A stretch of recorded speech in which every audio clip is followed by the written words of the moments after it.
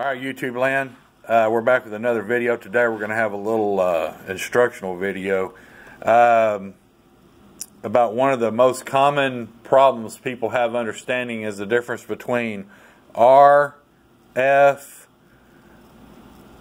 ground and DC ground. Now we're talking about mobile antennas right now. Mobile antennas, okay? So that's that's that's what we're going to cover. So first, let's uh, let's talk about RF ground and a counterpoise. Okay, so so you got a piece of coax. Okay, say you're direct feeding a half wave dipole. A di dipole, you got uh, some number 12 stranded wire here that's uh, it could be solid too, but you know I've used stranded insulated in the past. Works really well. Cut to electrical length of a half wave for whatever frequency you're wanting to operate on, and we can get into that later how you configure the electrical wavelengths. But right now we're just talking about you got coax feeding a half wave dipole. So you've got the center conductor connected to this leg. You've got your shield connected to this leg, and these are equal length. Okay. So in this situation, this is your counterpoise your shield. This is your RF ground.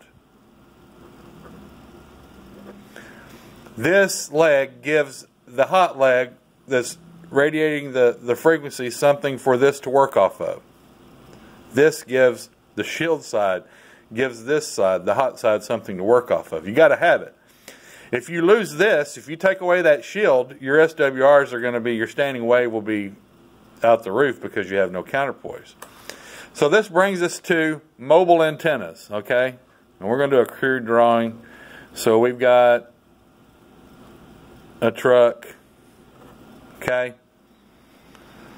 And um, it doesn't matter if it's this or say we've got, excuse my, I failed art class. Say we've got a pickup truck, okay? All right, so you got two different vehicles here, but it doesn't matter. Now we're going to put one more in the loop here. This is the frame. Now this is showing the chassis and the wheels. This is just showing the frame of the vehicle. Here's your battery. Your positive goes to all your electronics. The negative goes to, to the frame. Okay, that's your DC ground and all your electronics and everything are also grounded to that ground. Okay? So, this brings us to the first myth that we're going to bust. Okay, you're mounting, uh, you got your pickup truck and you put you a mount on the corner of the bed. You've got your uh, antenna coming up here. Okay, you check your SWRs and oh my God, you can't get them down. So the first thing you do is you run onto Facebook or some other medium and you start asking questions. The first thing out of somebody's mouth was, well, did you ground it to the frame? Okay. Never.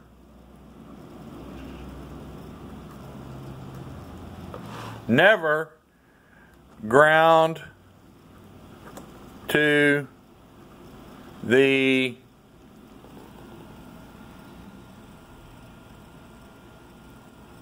frame. Sorry, I was getting a text message. Excuse my writing. I'm trying to do this in a hurry. Okay, the frame, this part of the vehicle, does nothing to provide counterpoise or RF ground. It does nothing. So if you if you're like a ground, you've got a mount here, you got your antenna, you run a frame, so here's the frame under here. It don't matter if you do run a, a ground wire down to here, that antenna cannot see that frame. Because RF ground and DC ground are two different things. The frame is a DC ground. It's great. That's what you want for DC ground. You know, if you're trying to get a common DC ground, you know, you want continuity to the frame, that's fine. That'll never work for RF. RF, you want a counterpoise here, like the negative of the, of the dipole, in this case, you have to use the body of the vehicle. Okay? So in this case, you're going to ground your mount that the antenna is on, that your coax screws onto. You want your coax to ground, the shield, to have continuity to the mount, which has continuity to the bed of the truck and the cab of the truck. Now, the best way to do that is run a ground wire up underneath the cab to a flange, and you can ground to a flange, and you can actually check to see if you've got continuity. You want continuity between the cab of the pickup and the mount. You have to have a surface area for the antenna to work off of. So you have to use the body for a counterpoise. I hope this is helping people. This is very crude uh, drawings. But grounding to the frame, you're just wasting wire. And I just want to reiterate this because so many times you see it. Well, did you ground it to the frame? Yeah, it didn't help. Well, you know, it's not going to help. Grounding to the frame does absolutely nothing when it comes to RF ground. Okay? Or counterpoise. So, same thing with this deal. If you was to mount an antenna on the back of this, okay? Got your mount and it's bolted to the back here. Okay, unless this the part that your shield of your coax is hooked up there that hooks to the mount. So you want the shield of your coax and the mount to have continuity. Never to the antenna because that, then you would have a short with the center conductor because your center conductor goes to the antenna. So you got your antenna mounted. So you want continuity between the shield and this surface area right here. Okay? You want zero resistance. You want perfect continuity. So, if you ground this mount to the roof and to the body, you should be able to then set your SWRs. Okay? Now, one reason why I want to cover real quick you get people that say, well, I'm grounded, but my SWRs just won't go flat. Okay, if you have proper RF grounding, radio frequency ground, if it is grounded perfect and you've created a sufficient counterpoise for your antenna to work off of, your antenna will have a one-to-one -one SWR somewhere. It will have. It will be resonant somewhere. And what I'm meaning by that is say you've got a brand new Predator 10K. That's what you got. Here's the coil. Predator 10K, we'll pick on Predator. Predator sends you an extra long stinger, the, the whip that goes inside the top. It's extra long, and it's extra long because you're going to have to trim that. So one way you know if you don't have an SWR analyzer, and we're going to show you this real world, I'm going to go out in the truck, uh, part two of this video, and show you guys. But if you do not have if you check continuity and you got continuity, but you check in your SWRs on channel 20 because you don't have an SWR analyzer and you're just using the radio and an SWR meter and you can't get them down, but you're lower on channel 1 than you are on channel 40, well, then you know that the antenna is too long. Okay, if you're lower on channel 1, say you're 1.7 on channel 1 and you're a 2.5 on channel 40, well, then you know that you're going to have to shorten this antenna. Because you have to remember, the longer the antenna, equals lower frequency. Okay? Longer antenna equals lower frequency. So when you shorten this antenna, you're going to be bringing it down, and it should be, um, you know, it'll, it'll, come down evenly. Once you hit like a, a 1 on channel, a 1.1 on channel 1, but you're still like a 1.7 on channel 40, keep on moving it. I usually move to channel 20 then if I'm just using an SWR meter, and I will take just a little bit off the stinger until I get it there. Now, if you check your SWRs on channel 40 and you're a 1.5 and you check your SWRs on channel 1, and this is just starting out, say with any kind of antenna, and, and your SWRs are higher on channel 1, then you need to shorten your antenna. Okay? The higher the frequency, the shorter the antenna. That's why you look at a, a, a dipole for 80 meters, you know, you're going to have, you know, between about 35, 36 foot on each leg or so, just guessing. And you look at one for uh, 160 meters, you're going to have over 100 foot on each leg. Because the lower the frequency, the higher the lower the frequency, the longer the antenna is going to get. Okay. Also, when it comes to mobile antennas, if you're working amateur bands, the lower the frequency, you know, when you get into from say you're going at 10 meters, you may be able to get this to set fine. Say you had like a bug catcher, multi-band bug catcher. You may be able to get it good on 10 and 15 because you've got enough counterpoise on your vehicle. But once you go down to say uh, 40 or 80 meters, you may not be able to uh, get it to tune just completely flat. You may have to use a tuner in line, and they make mobile tuners for that. So remember, never ground to the frame. That's a waste of money, waste of wire, DC ground. Uh, now, if your antenna, if you didn't have any body on your vehicle and your antenna was mounted on the frame, well then yes, you would mount to the frame. But you're not grounding anything to the frame. That is primarily your DC ground for the vehicle. You're wanting RF ground, which is going to be the chassis or body ground. Okay. Now, some big trucks that can be hard to do because now there are a lot of them being made in fiberglass, and I help people all the time. They call me and we'll work through it. Uh, there's lots of tricks you can do. Uh, you know, we can always figure out a way if you send me pictures to get you an RF ground one way or another. So that's what this is about. So we're going to uh, pause this video and I'm going to go out and uh, we're going to go in the vehicle and I'm going to show you guys some of exactly what we're talking about. Okay, so we're back with the uh, antenna video. First, we're going to let you guys know I'm in my truck. It's my personal truck. Uh, it's a uh, four-door Chevy uh, Duramax. I bought this truck uh, to pull what's going to be the Trailer Queen. I wasn't going to do that uh, you guys are keep uh, a lot of you guys are that really follow me or emailing me constantly. What about the key down suburban? Well, it kind of got put on hold because I started thinking about it. So I went and bought this truck, and I've been setting it up uh, to pull the to pull the truck next year. We're not even going to be in any key downs uh, till next year. Of course, season's over for this year pretty much anyway. But uh, we're hoping uh, to make Louisiana next year. But yes, it will be a trailer queen because back in the day, we had, you know, uh, deja vu is what I'm really talking about. Going to Louisiana and I lost a wheel bearing back in the day and having to limp things home. It, it's just no fun. So, uh, you know, or you lose a, say you lose a, a pulley on an alternator or something. I mean, there's just so much that can go wrong.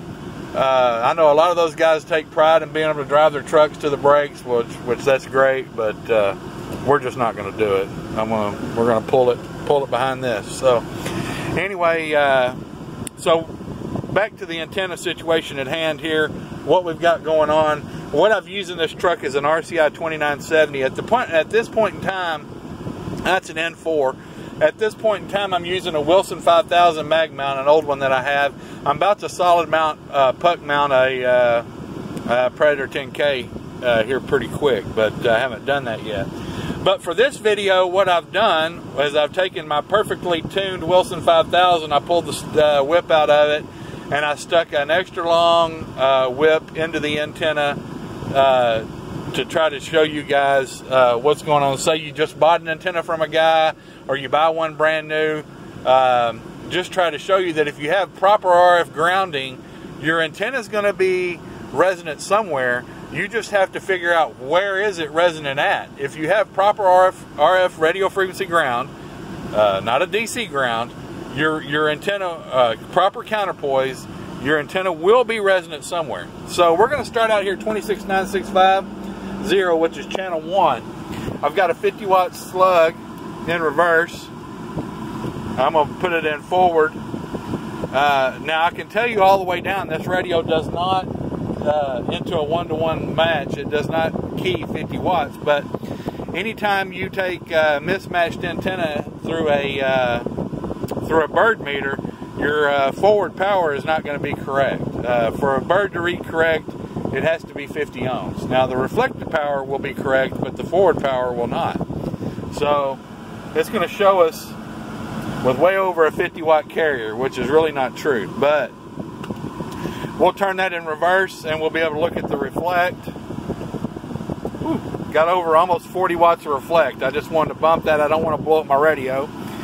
Uh, taking a risk here making this video for you guys, but uh, if it does, I'll just fix it. But anyway, so 26965. So we're going to drop down to about right there, 26.8. And it's still high.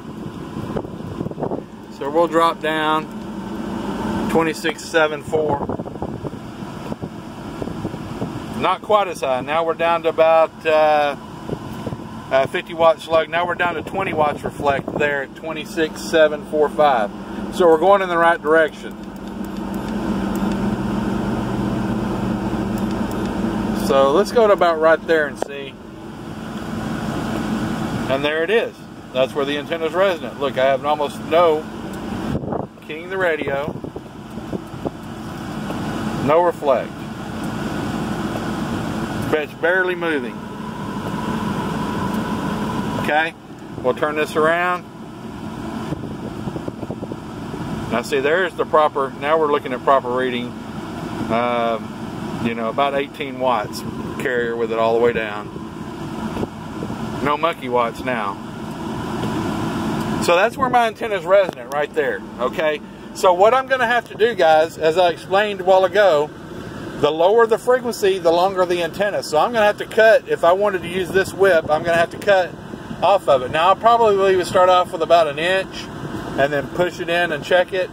And what you want to do, especially on these antennas, you don't want to bottom them all the way out. You want to pull them, push them all the way in, pull it out about an eighth of an inch, and then check your SWRs. Or if you're using a bird meter like I am, you can check your reflected power and tune it like that.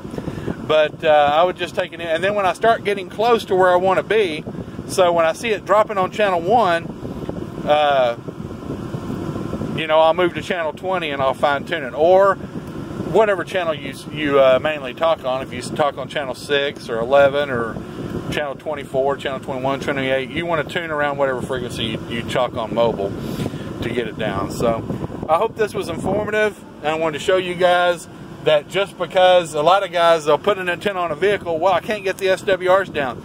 Well, you have to find out where it's resonant. If you have a 10 meter radio and you don't have access to an antennalyzer, you can use your, your, uh, your export radio as a uh, antennalyzer. You can sweep the frequencies and find out where you're resonant. Now, if you don't go resonant anywhere, you keep going down and down and down and it doesn't change, well then you don't have proper RF grounding. And I've already described, explained to you how to get RF ground. Uh, if you do not go resonant anywhere, if it's not good anywhere, well then you do not have proper RF grounding or your coax is bad or something's just not right. So I hope this was informative. I got to get back to the bench. Uh, just had a lot of these uh, questions. Been spending a lot of time with guys on the phone lately, uh, trying to help you guys out. Which you know, I'm, I'm, more than happy to try to help anybody. Uh, but I figured this video was in order. So y'all be safe, be careful, be kind. I got to get out of here. I'm going. I'll see you.